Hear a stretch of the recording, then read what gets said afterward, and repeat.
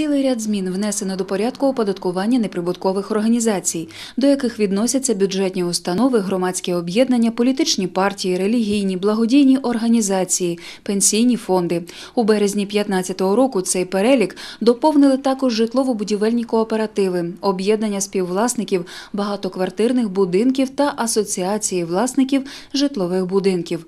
Законодавством також чітко сформовано визначення неприбуткової організації. Це підприємства, організації, установи, які не є платниками податку на прибуток і одночасно відповідають ряду вимог. Неприбутковим підприємствам, установам та організаціям є підприємство, установи і організації, що одночасно відповідає вимогам. Утворена та зареєстрована в порядку, визначеному законом, що регулює діяльність відповідної неприбуткової організації, установчі документи, якої містять заборону розподілу отриманих доходів, прибутків серед засновників та членів е, такої організації, і установчі документи, якої передбачають передачу активів одній або кільком неприбуткових неприбутковим організаціям відповідного виду або зарахування до доходу бюджету у разі припинення юридичної особи. Звертаючи увагу на зміни в порядку оподаткування неприбуткових організацій, працівники податкової інспекції також наголошують на тому, що всі неприбуткові організації, включені до нового реєстру неприбуткових установ та організацій, зобов'язані до 1 січня 2017 року привести свої установчі документи у відповідність із нормами закону та в цей же час надати копії необхідних документів контролюючому органу. У разі, якщо до 1 січня 2017 року неприбуткові організації не приведуть у відповідність свої установчі документи, вони будуть виключені з реєстру.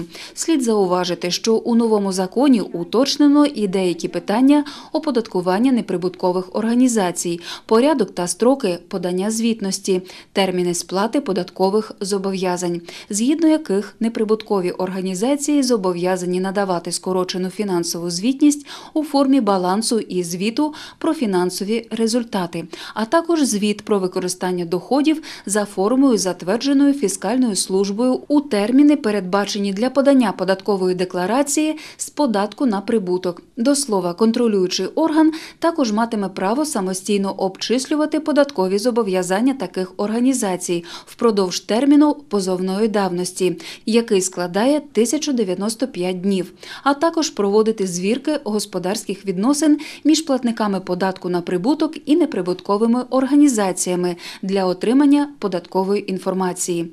У разі встановлення факту використання доходів за нецільовим призначенням неприбуткова організація виключається з реєстру, сплачує податок на прибуток за результатами річного декларування, обкладається штрафними санкціями. Разом з тим, закон усуває дискримінаційну норму щодо коригування фінансового результату платника податку на прибуток. Такий результат не коригується, якщо вартість товарів, у тому числі необоротних активів, послуг, придбаних у неприбуткової організації впродовж року, не перевищує 50 розмірів мінімальної заробітної плати.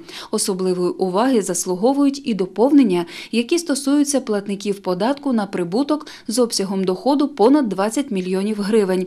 Згідно з цим доповненням, платники податку на прибуток, які за результатами першого кварталу звітного року не отримали прибуток або отримали збитки, мають право надавати декларацію і фінансову звітність за відповідні періоди і надалі не сплачувати авансовані платежі з податку на прибуток до червня наступного року.